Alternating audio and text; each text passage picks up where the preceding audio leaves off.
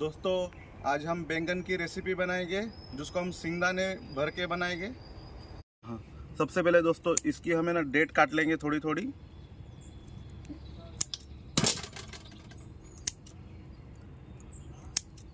तो दोस्तों, ये बैंगन को हमें पहले काट लेना है चार भाग में।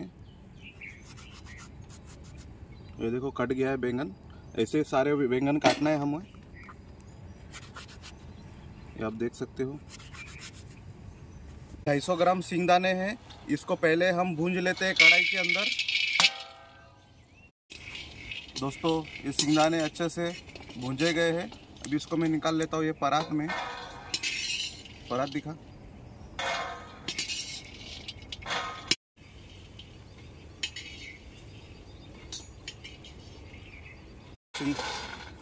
दोस्तों, ये अभी सिंगदाने भूजे गए हैं। इसके मैं छिलके निकाल लेता हूँ।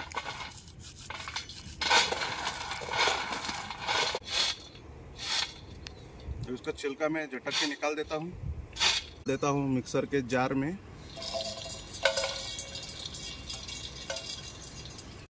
देखो दोस्तों, सिंगदाने को मैं पीस के लेके आया हूँ मिक्सर में। अदरक लहसुन का पेस्ट है, इसको भी पीस लेता हूँ। उनका हो गया।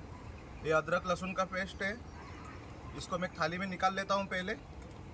दाना अब ये सिंगदाना है, इसको भी मैं मिक्सर के जार से निकाल लेता हूँ।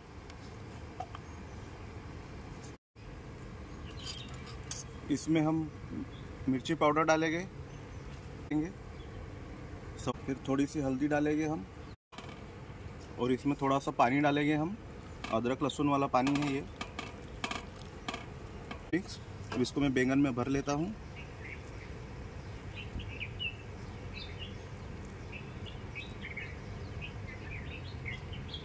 और साइड में रखते जाता हूँ ऐसे। इस तरह से सभी बैंगन में हमें भर लेना है।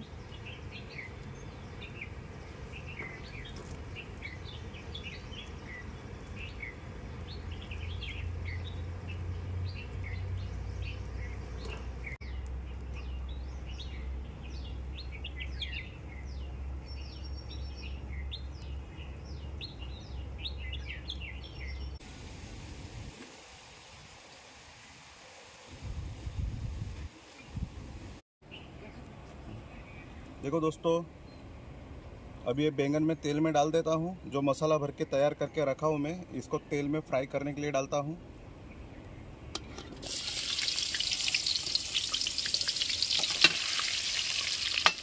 पूरे बैंगन मैंने डाल दिया हूँ।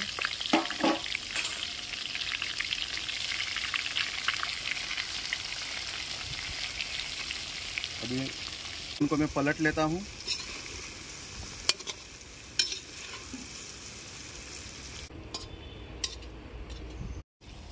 अभी बैंगन में एक लोटा में पानी डालूँगा।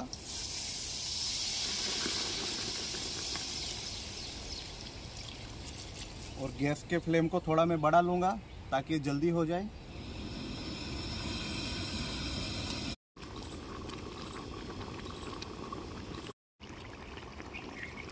देख सकते हैं दोस्तों आप, ये बैगन बन के तैयार हो गए हैं। तो सिंगदाना भर के मैं बनाया था। दोस्तों अभी मैं कढ़ाई को ऊपर से उतार लेता हूँ गैस पे से। थाली में मैं ले लेता हूँ दोस्तों बैगन को।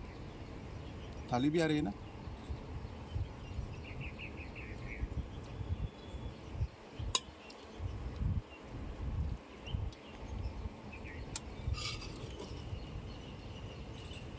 चावल की रोटी के साथ खाऊँगा मैं।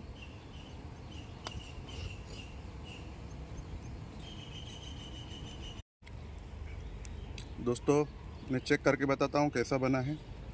काफ़ी गर्म है, फिर भी बता रहा हूँ आपको। ये देख सकते हैं। एक नंबर।